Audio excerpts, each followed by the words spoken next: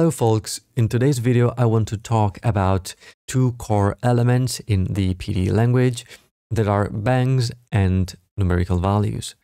So a bang is a special type of message that can be used to trigger an action or an operation, an envelope. It can be used in many different scenarios.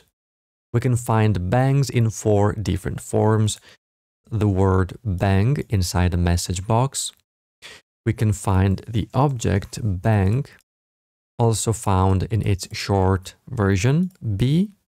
And last but not least, we can find the graphical element for a bang, the clickable bang object.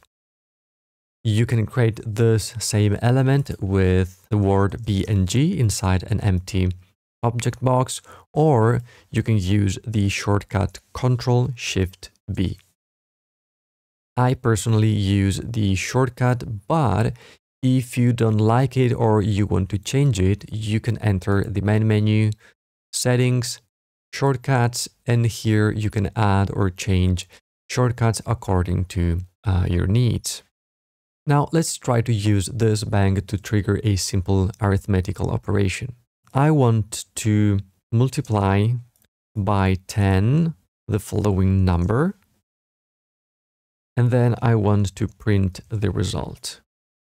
In the previous video, what we did was we triggered the actual message box.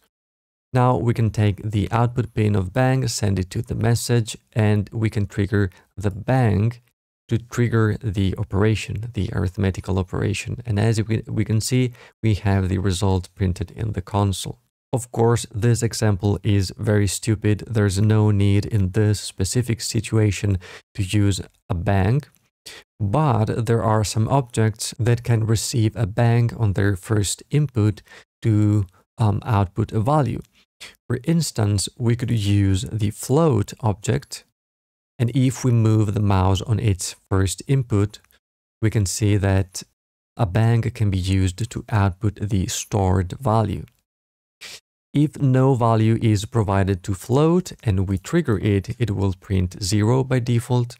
So what we can do is we can write a number, send it to its first inlet, we can now clear the console and if we trigger the float object with our bang, it will output the stored value.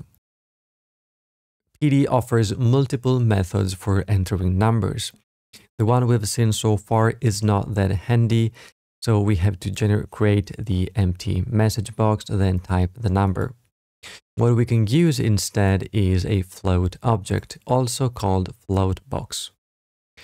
When we are in run mode, if we move the mouse over the object, as you can see, decimal positions will highlight.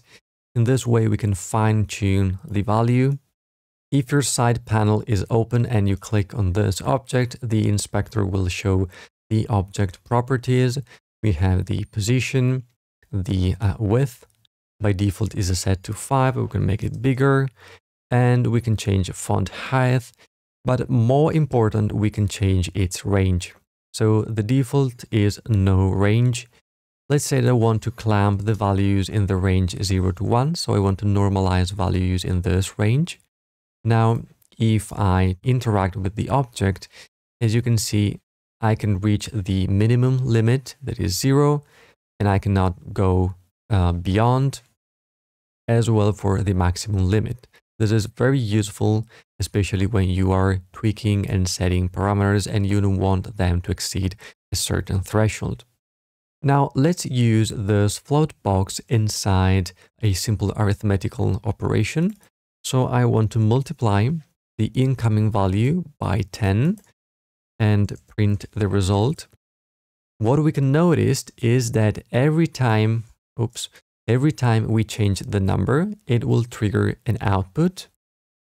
So keep it in mind, it will update as you change the input number. Numbers are always of type float, which means that PD doesn't have a true integer type. In case you want to round a number to its nearest integer, you can use the integer object, which will output a fake integer as I reach the first integer value, the integer object will output the result.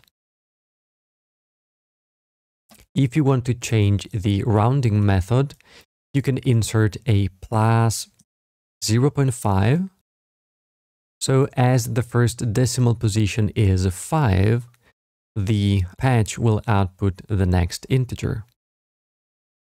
If you found this video useful, please consider joining my Patreon page. That is the easiest way you can support my work. That said, thanks for watching and I'll catch you in the next video. Ciao ciao!